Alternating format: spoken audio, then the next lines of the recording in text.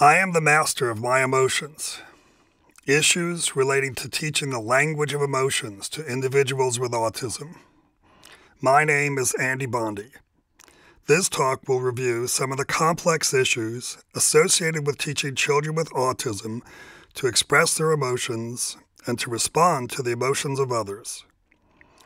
We will take a look at some suggestions by B.F. Skinner and see if they can help us design effective lessons. We also will look at some traditional approaches to this issue from within behavioral orientations, as well as some that are non behavioral in theory. We will end up considering some practical issues that may help us improve our lessons dealing with emotions. Several years ago, a mother came to school and announced that her son had mastered emotions. We weren't sure what she meant, so we asked her to explain. She looked at her son and said, Show me happy. He contorted his face into something resembling a grimace or extreme smile. She then said, Show me angry. He flexed both his arms in front of him. Think Arnold showing off his muscles, and frowned. His mother turned to us and said with pride, See? Now, this mom had done exactly what she had been taught to do. But had her son truly learned anything about emotions? I think not. So, what's the problem? Many of us talk about how difficult it is for those with autism to express their emotions and feelings. They have trouble describing what they are currently thinking and may have difficulty in explaining why they are doing what they are doing. They appear to have great limitations in using body language and other subtle signs of emotional display, from facial actions to involvement of the whole body.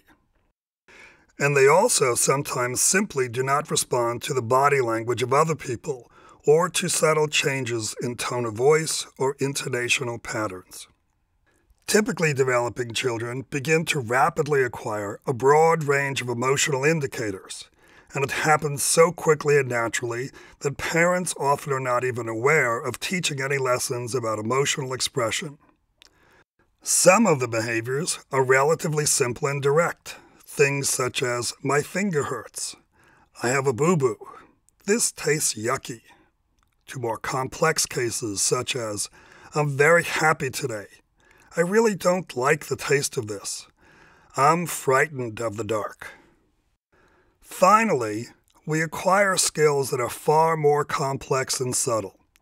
Statements such as, I love you for who you are.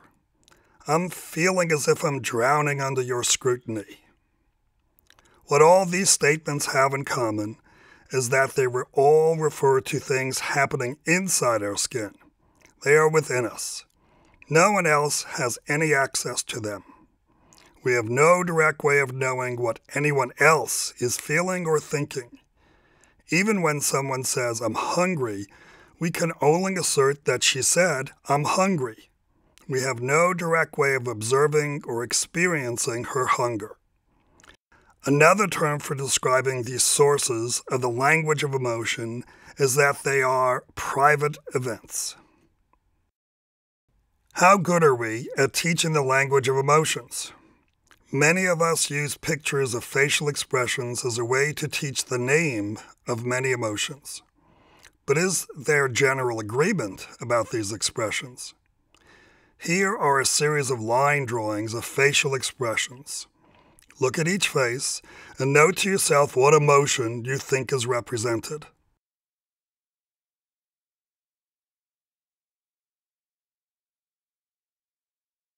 Did you agree with all of them? This little exercise demonstrates that there is a great deal of disagreement amongst typical adults. If this is the case, imagine how difficult it is for those who have difficulty acquiring language to learn the real names of that face when so many people disagree with each other.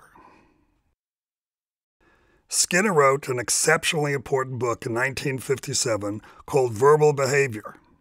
In this book, he used all the principles of learning he had studied and considered if they could be used to analyze language.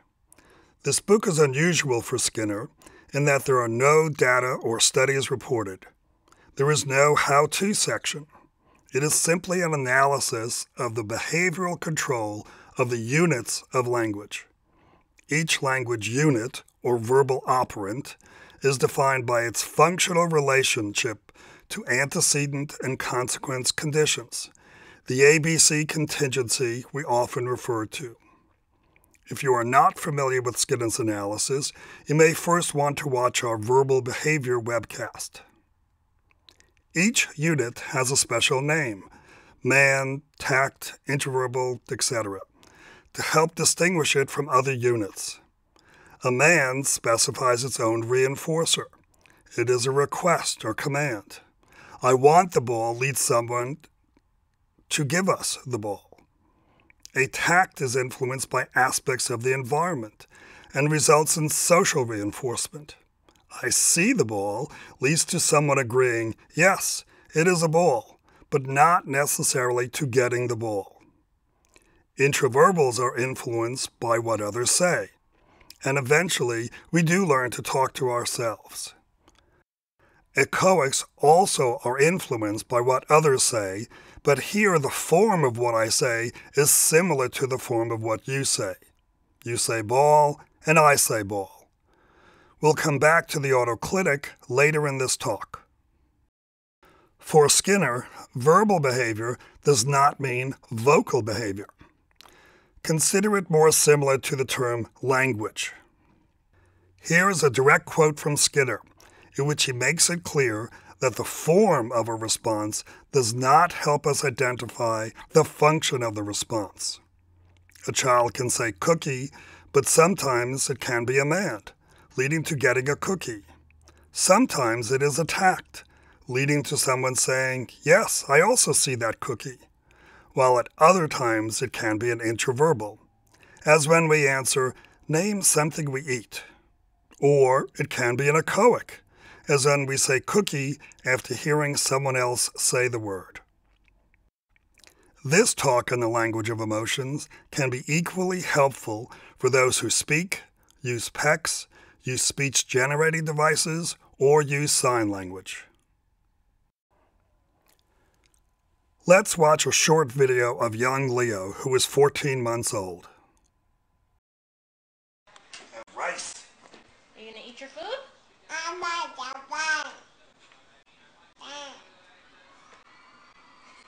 Is that Leo's big spoon?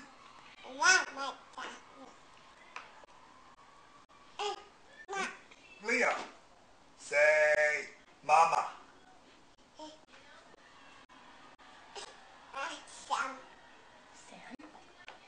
Say Sam.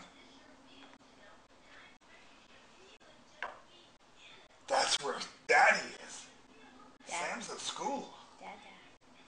Where's Dada? It's in the living room. Is this a spoon? Mama. Mama. Mama. Yeah. This is true. Mama. and where's Leo? You want some water?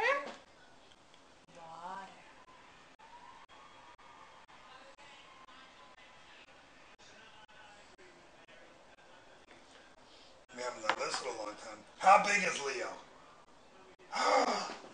so big. Not even looking. How big is Leo? no. No. You don't want to do that? That's a baby game? What's down there? What's down there? What's down there? Are you feeding Shelby? Oh. Is Shelby getting her supper? You gonna eat your food? Take a bite.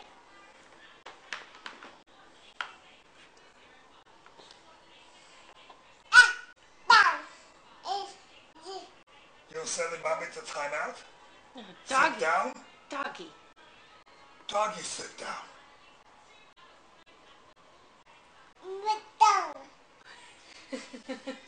down. Sit, sit down. down. Down. Who's going to sit down? Mama. Mama, Mama's going to sit down?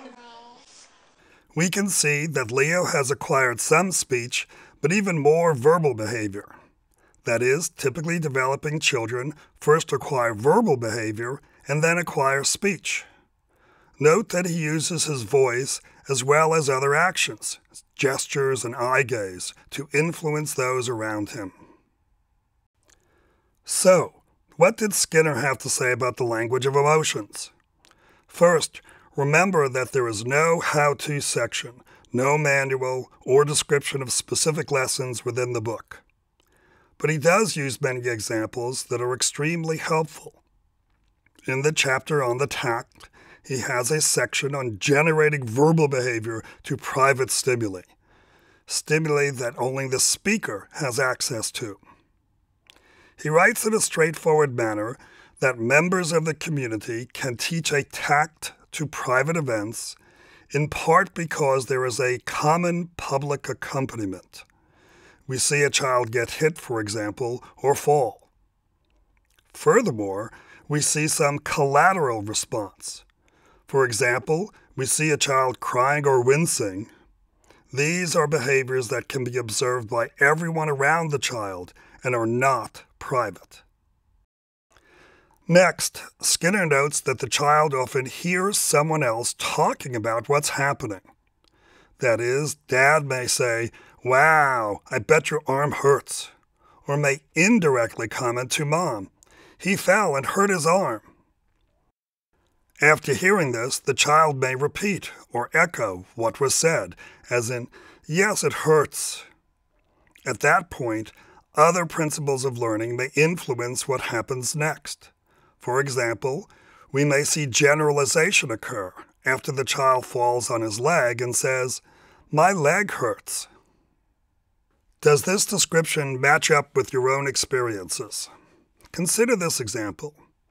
You are inside the kitchen watching your very young grandson running around the yard while wearing shorts. Suddenly, you see him fall. When he stands, he is bleeding from his knee and he is crying. What do we do?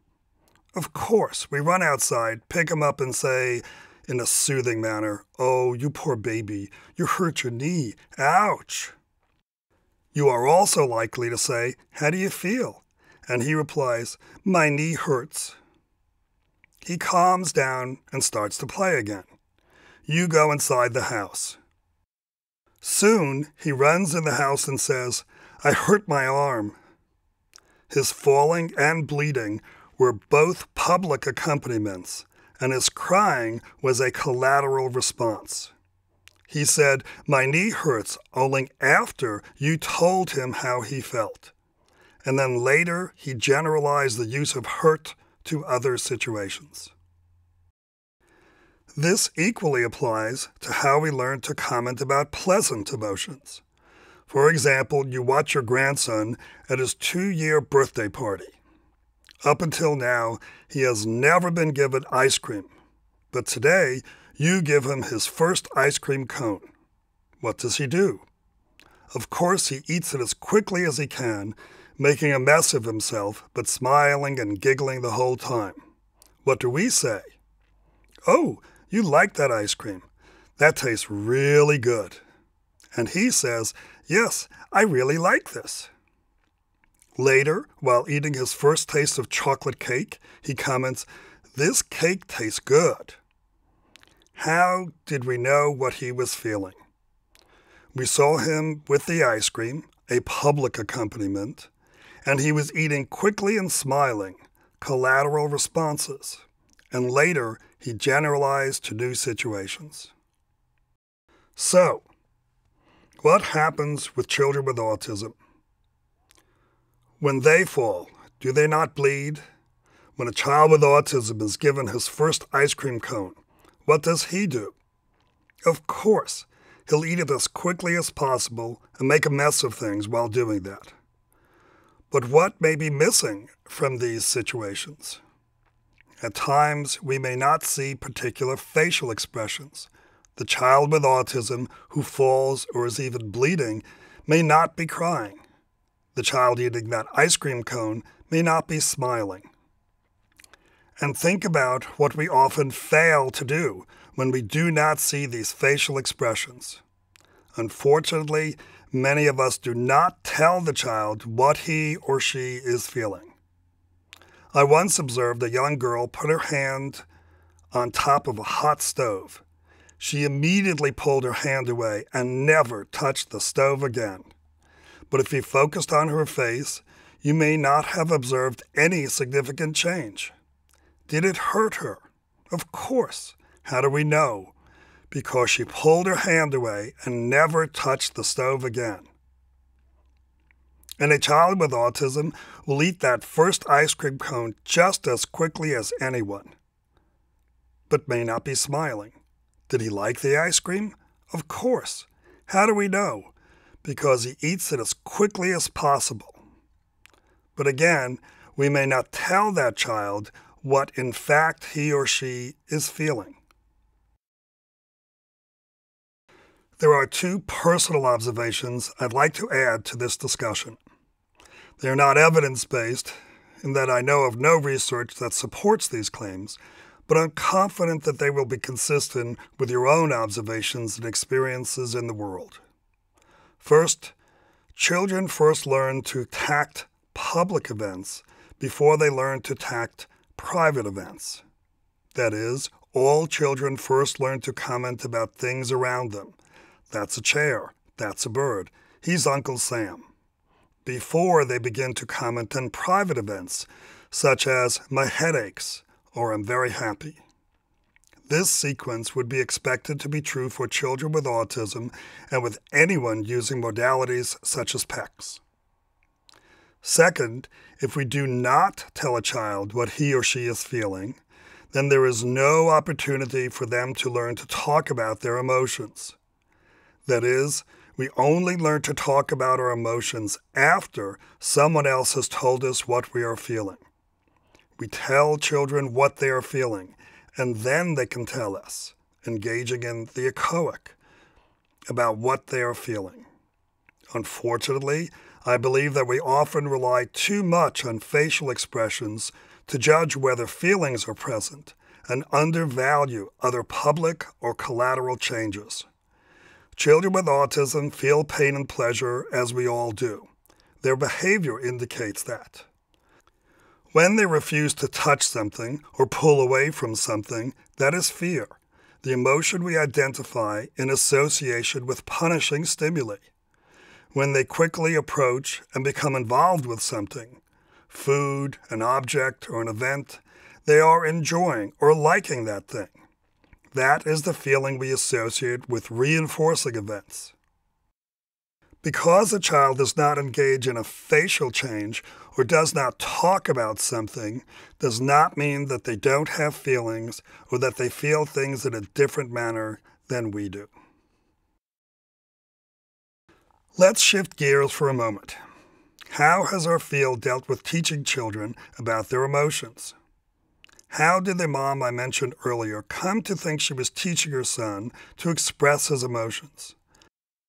As with many other aspects of our field, we need to look at the work of Ivar Lovaas because he was a true leader in the field. In a recent book, he describes some of the reasoning connected with how he developed particular lessons. It is informative to read these directly. Children were taught to hug, but many times the embraces seemed more like the children were merely going through the emotions without real feelings. We referred to these hugs as operant hugs.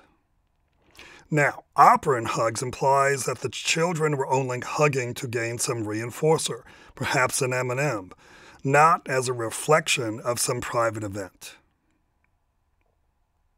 At the same time, it became apparent that it was impossible to teach the children to laugh or cry when it was appropriate to express such feelings.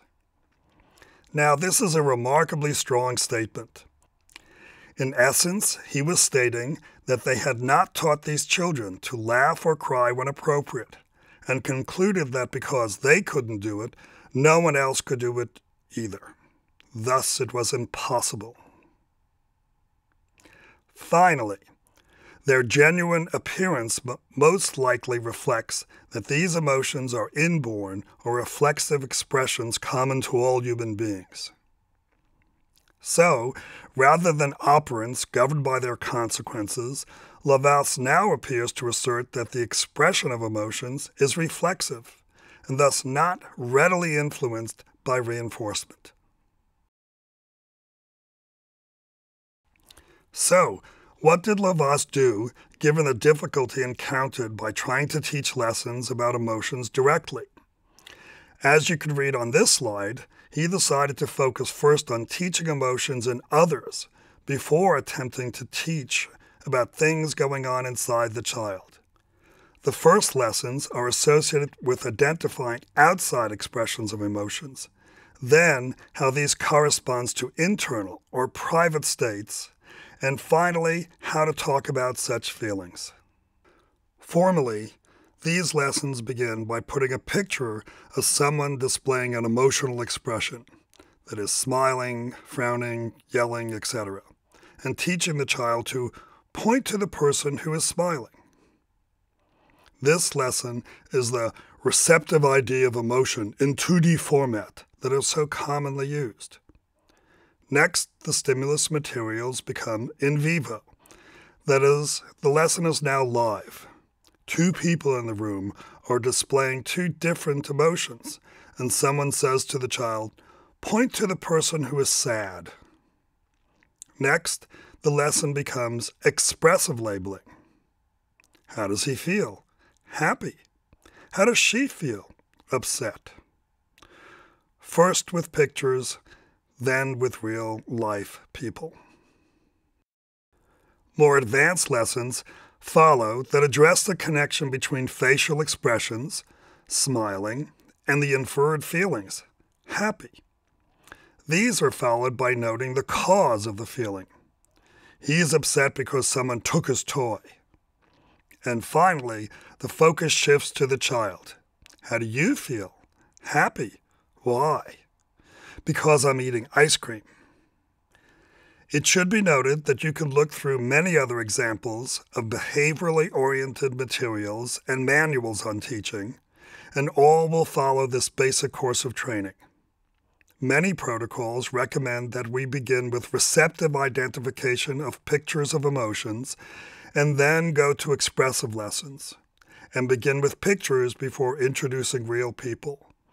And only at the end move to the feelings of the child. There are many programs that focus on this issue that do not follow a behavioral orientation. For example, many claim that this issue of emotions is related to the problem that children with autism have in mind reading, knowing and acting in accordance with other people having minds. However, the actual sequence of training is remarkably similar to what we just described. They begin with lessons such as point to happy, using pictures, and then moving to pointing to people in the room. They introduce action sequences and teach the child to anticipate the feeling of others. How will he feel? Before trying to teach the child to respond to his or her own emotions. There is one approach, the Hanen approach, developed in Canada, which has an interesting take on things. Much of what they do supports the use of systems such as PECS, although they refer to cue cards and may involve pointing rather than exchanging the pictures. Nonetheless, they state directly the best time to identify emotions with a cue card is when your child is experiencing them. Who does this most sound like? Their example clearly points out that mom gets her son to comment about his feelings, happy, while he is having that feeling, while he is happy. So, a non behavioral approach recommends something that best fits Skinner's analysis. Let's review why this area of teaching is so problematic with children with autism. Is it because they do not have feelings? No. Surely they do. Is it because they have no language? Well, even those with rather complex language continue to have difficulty in this area. In terms of teaching strategies, it is clearly easier to create teaching materials and lessons by collecting pictures of emotions or directing other people to display particular emotions rather than arranging for the child to have certain feelings at certain times. Are there other factors that make this lesson difficult? In the book Verbal Behavior, Skinner never talks about specific disabilities or why they may occur. He never speaks directly about autism. However, he does write about social reinforcement in a way that makes it clear that he views this as central to the development of being conscious. It is only through the gradual growth of a verbal community that the individual becomes conscious. That is, if we do not interact with others and respond to social reinforcement, we literally do not learn who we are. The other verbal operant that we noted earlier is the autoclitic, a strange sounding word indeed. Skinner created this word from two Greek roots auto, meaning self, and clitic, meaning leaning. Thus, autoclitics are words that lean upon words. What does this mean? Essentially, autoclitics are not so much controlled by things in the world around us, but rather by things within us that govern our own verbal behavior. They indicate either a property of the speaker's behavior or the circumstances responsible for that property. When I ask for a big red cookie, both big and red are related to the cookie. They are not autoclitics, but are tacts controlled by the properties of the cookie itself. But consider the sentence, I really want a cookie. What is controlling the use of the word really? It is not related to the cookie. Whether you said, I want a cookie, or I really want a cookie, the same cookie would show up. So, what does change? It is something rather subtle.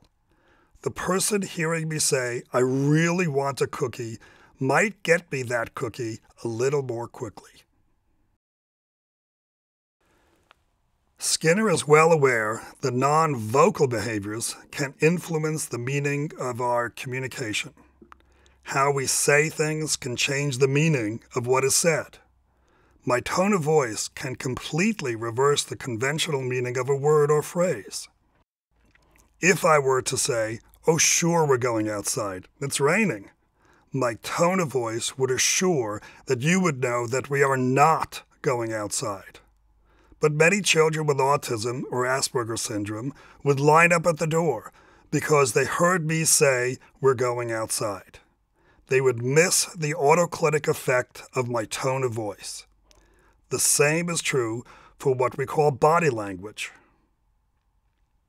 Furthermore, Skinner points out that many aspects of our writing have an autoclitic effect, including punctuation marks.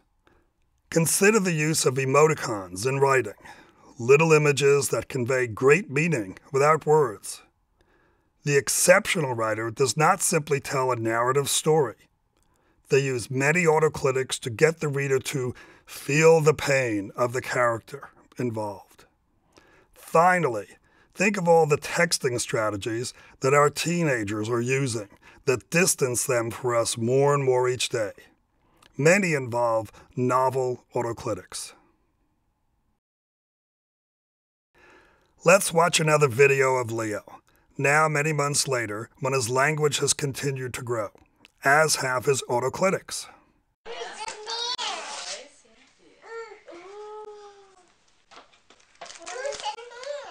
Who's in here? Is it a cow? Yes. That's really like a cow. It's like a cow. really like a cow. Maybe it's even more like a I think it's a horse. really like a cow. what do you say? Notice that he first asks, Who's in here? when unwrapping a birthday present. That is an example of a mand for information. But then he says, Yes, it's really like a cow. This is not simply a tact, it is a cow. He is using really like to indicate to others something about himself and not just the toy. Thus, we see that autoclitic use begins very early for typically developing children. Is there a relationship between the development of the autoclitic and areas of concern in autism? Well, Skinner wrote that the contingencies which generate a response to one's own verbal responses are unlikely in the absence of social reinforcement. Do we know of a population that appeared to be relatively insensitive to social reinforcement? By definition, that is the central characteristic of children with autism. So, essentially, Skinner is making a prediction that if a person did not receive or respond well to social reinforcement, then the development of responses to one's own responses, or the autoclitic, would be difficult. Thus, while Skinner does not write directly about autism, he helps us understand a major aspect of the condition. Several years ago, Lori Frost and I looked at a language sample from a group of children with autism, matched in language performance on a standardized test with a group of children with developmental delay. In the fashion of doing a discourse analysis, we recorded an hour's worth of conversation and then counted examples of autoclitics used. In Skinner's chapter on the autoclitic, he identified many different types of autoclitics by function. For example, assertion as in yes and no, strength as in really or some, and others. What we found was that children with autism use far fewer types of autoclitics than those children with developmental delay. Remember, their overall language measures were equivalent. We also did a quick comparison for the total number of autoclitics used per utterance for these same groups and added a third group, typically developing young children. What we found was that typical children used some type of autoclitic in over half of all their utterances, while those with developmental delay use these in somewhat under 20% of their utterances.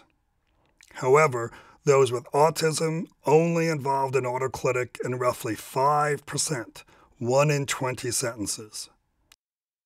In short, the language of typically developing children is rich with autoclitic qualifiers. And children with developmental delay, but not autism, also use them to a fair extent. But those with autism rarely use autoclitics to help listeners better understand them. So the question becomes what can we do with this analysis? Can we create more effective lessons involving the emotions of these children? Can we take advantage of naturally occurring opportunities, as do most parents? Or do we need to act more as a teacher does? Create the opportunity for a lesson by creating the feelings themselves. And finally, we will have to consider how to create strong feelings in an ethically sound fashion. One strategy involves what is often called capturing the moment. We see something unfolding. A child is engrossed in a toy, or a child is pushing away an offered item of food, and take advantage of the opportunity. We can label what the child is feeling and try to have the child play back or echo what was said. Of course, if we are working with a child who signs, we will have to make the appropriate sign or for those using PECS, we will have to use appropriate pictures. If you know your child must go to the doctor's office for an allergy shot every week, you know exactly when your child's arm will hurt, and that is the time to teach a lesson about pain. However, simply waiting for the right opportunity can waste a great deal of time a good teacher arranges things so that the lesson is soon available.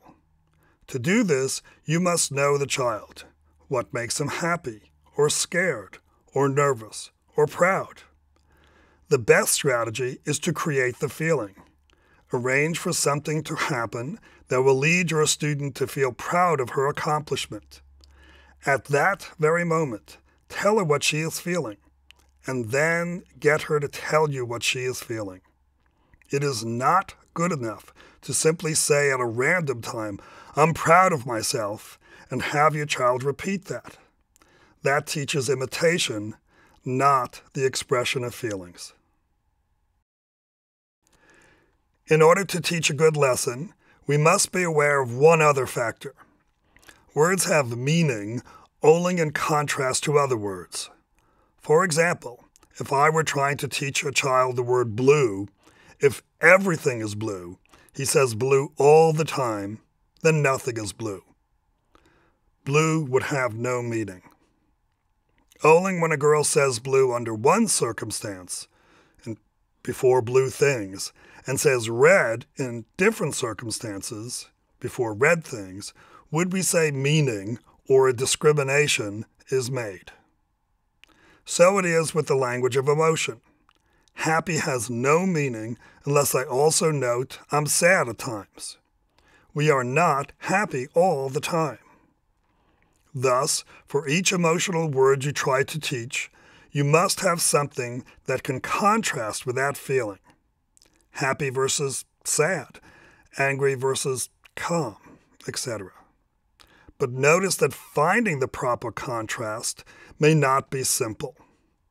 For example, anxious is often used when anticipating something bad is about to happen. So, what is the word for when I anticipate that something good is about to happen?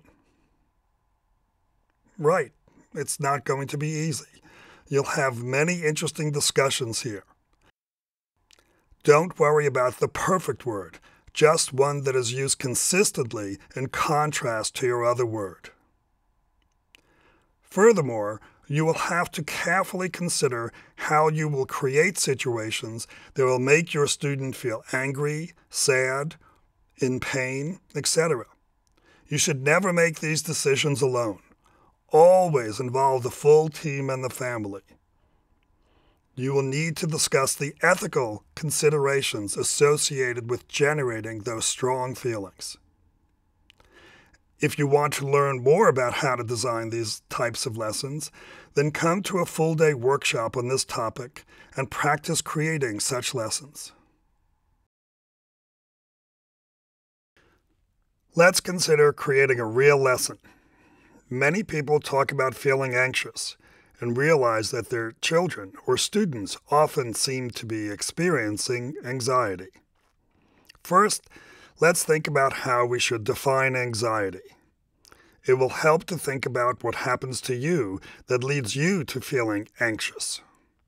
When something bad happens, I may report that I am hurt, in pain, or feeling sad. However, anxiety is a little different than feeling immediate pain.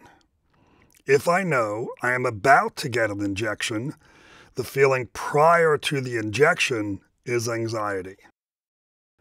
As we noted, to teach one feeling, you must teach a feeling that is in sharp contrast to it. So, to teach about anxiety, you also need to teach about something that may be the opposite. What would this be? The opposite of anxiety is anticipation of something good that is about to happen. You may quickly realize that one problem is there is no good word in English that perfectly matches this feeling. We use anticipation regarding both good and bad things. So your team will have to agree upon what word you want to use. The next lesson will probably be a little more difficult. How to teach autoclitics. Consider a simple question. Have you ever taught a child with autism to effectively use the word really? I've asked this question to thousands of people around the world and have very rarely heard a positive reply. Why is it so hard to teach? Recall that autoclitics are controlled by aspects of the person engaging in verbal behavior, not by changes in the world around us.